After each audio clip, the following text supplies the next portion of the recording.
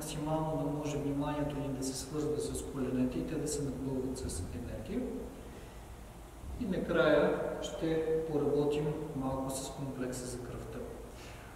А, преди да започнем масажа, искам и се да обърна а, внимание на нещо, което а, ще ви е ценно от гледна точка на това да можете успешно да се настроявате а, за работа с чуждо тяло или чужд обект. В случая това се води за нас партньор. Партньор също така за нас се води и самия нож, с който оперираме. Какво би трябвало да се получи? В тялото, по принцип, от гледна точка на китайската медицина, причините за всички проблеми с тялото е елемента вятър. Вятъра, преведен на малко по-европейски язик, това всъщност е промяната. И способността на тялото да се справя с промените в околната среда определя доколко човек има добро здраве, хармония, благополучие и съответно доколко успешно тялото може да обработи тези промени. Как изглежда това? Например, при смяна на сезоните, т.е. ако както в момента си имаме преход от зимен към пролетен сезон, цялата енергетика на нашата планета се сменя навсякъде. Съответно, това изглежда физично погледнато като вид електромагнитно течение или електромагнитен вятър, който се случва около нас, независимо дали ние го чувстваме или не. Вследствие на този вятър в хората тръгват някакви процеси. Нали, някой може да каже, чувствам пролетна умора. Друг може да каже, тръгва ми сенната хрема. Трети може да каже, започват да ме болят коленете, тъй като чувствам влага. Тоест, причината за всичко това е смяната на енергетиката или тази промяна, за която говорим, че трябва да се справим. Проблема е, че когато започне да се сменя енергетиката и започне тази енергия да взаимодейства с тялото ни, ако тялото ни е недобре отпушено, то новата енергия, навлизайки в тялото, тя започва да засяда на определени участъци в тялото. И обикновено се заключва в тези участъци и не може да продължи нататък. Съответно, там се образува форма на блокаж и не може да се актуализира зоната с новата енергия. Новата енергия не може да продължи да пътува навътре.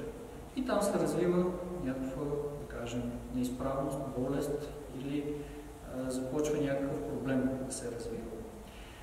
Затова ние превентивно работим със своето тяло, отпушвайки го, правейки го проводимо за а,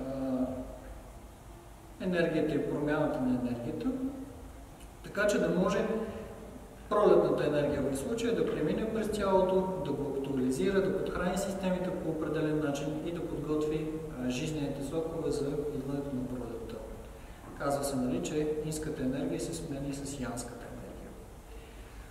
Съответно, затова, например, ако човек има алергия, понеже започва да се увеличава янската енергия в тялото, която навлиза отвън навътре, то а, човек става а, много чувствителен именно към тази янска енергия.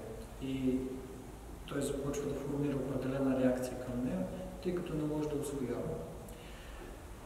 Всички тези способи, които третират тялото по някакъв начин, както е масажа, който сега ще направим с вас, имат за задача да създадат условия там да се възстанови хармонията в тялото. Тоест енергията да продължи пътя си навътре, а не да засяда някъде в тялото.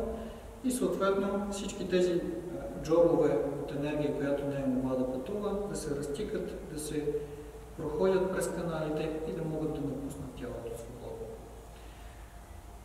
Така че, когато работите с а, интегралния нож, първото, което трябва да помните е, че ножът трябва да, го, да гледате на него като продължение на вашето тяло. Тоест съзнанието ви не просто трябва да може да стига до длънта, трябва да може да стига до върха на ножа. Върха на ножа не е на празна остър. Идеята му е, че той може да концентрира вашата енергия там в точка и съответно колкото по-малка е контактната повърхност, толкова по-уплътнено ще е вашето внимание в тази точка. И когато го поставите върху зоната на масажа, ще може много по-лесно да влиза. И основната работа, която работим в този случай е с нашето внимание. Тоест, стараем се да напълним дланта, т.е. ръката, дланта, ножът, върхът на ножа и вече вниманието да може да влезе в зоната, с която работим, т.е. коляното на нашия партньор. В идеалния случай това коляно трябва да го чувствате като ваше. Т.е. процесите, които се случват, да ги чувствате като ваши.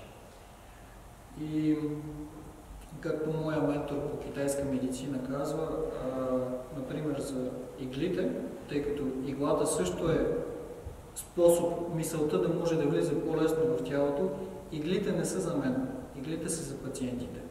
За да може вниманието на пациентите също да започне да влиза в зоната на, на, на проблема или да се свързва с меридиана, който се лекува. Тъй като за лекуващия това не е проблем. Той няма нужда от иглите, за да вкарва внимание вътре в точките, с които работи. Те са за да привлекат вниманието на пациента. Същото нещо е и тук. Това е начин ние да привлечем внимание в зоната. И колкото по-успешно привлечете внимание, толкова повече ще може да предизвикате някакво подобряване вътре. Така че работете максимално, както извършваме практиките, съсредоточавайки се, се старайте да извършвате винаги движението с цялото тяло. Тоест, избягвайте да движите, например, ръката самостоятелно, трябва да има движение от корема. И просто ръката е окачена за, за корема и за долната част на гърба. Окей? Okay? Хващаме се сега по двойки. Ще започнем а, с първия контур. Ще го припомням бързо и